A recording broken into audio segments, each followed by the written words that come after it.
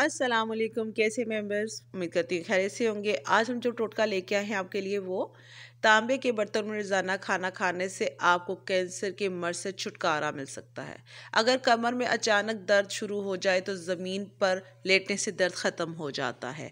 ये टोटका नमक, मिले पानी से नहाने का है। जब भी नहाने के लिए गुसल खाने में जाएँ तो बाल्टी या टब में एक बड़ा चम्मच नमक डाल दें। कभी भी आपको जिल, जल्दी बीमारी नहीं होगी। और खुश्की भी नहीं होगी। अगर जुएँ होंगी तो कुछ अरसे में ख़त्म हो जाएँगी सावन भादों में भी खारिश ना होगी। नहा कर रोज़ाना कंगी करें, इस पानी से नहाने से बाल में जल्द खुश्क हो जाती है। ज़िंदगी का मामूल बना लें, हमेशा जल्दी अमराज से बेपरवाह रहेंगे। सालन को मुलायम करने का तरीका जो घरेलू है, नारियल का फल नीम गर्म पानी में डालकर रस निकाल कर छान लें और फिर इस रस को सालन में इस्तेमाल करने से सालन मुलायम और जायकेदार होगा।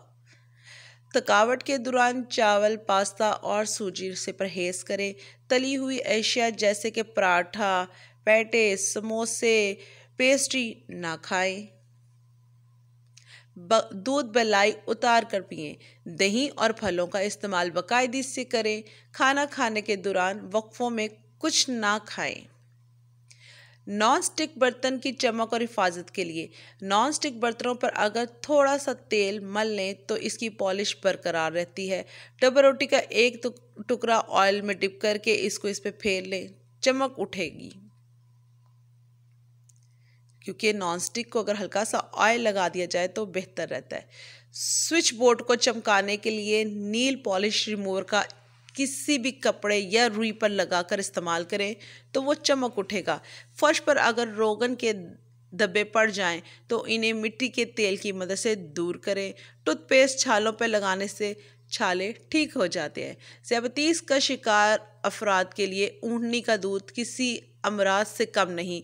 ज़्याबतीस के मर्ज अगर ऊँटनी के दूध का इस्तेमाल करें तो उनका ब्लड शुगर लेवल मुतवज़न हो जाता है और इंसुलिन की मकदार भी पूरी होगी। खाना खाने के बाद फलों का इस्तेमाल सेहत के लिए मुफीद है और दांत पर मैल भी नहीं जमेंगे। हाथ पाँव में फंग फंगस का इस्तेम फंगस हो जाए तो इसके लिए दो ज़बरदस्त टोटके। आपको जो आसान लगे, आप वो मुंतखब करें। एक तो मेहंदी, फंगस का इलाज है, लेकिन मेहंदी पीसी हुई ना लीजिएगा, क्योंकि आजकल मेहंदी में रंग बढ़ाने के कई केमिकल डाले जा रहे हैं। अपने पत्ते लेकर उसे मेहंदी की तरह पीस लें। फंगस के दौरान में मेहंदी पाउडर भर लें। मेहंदी आला दर्जे का टॉनिक है।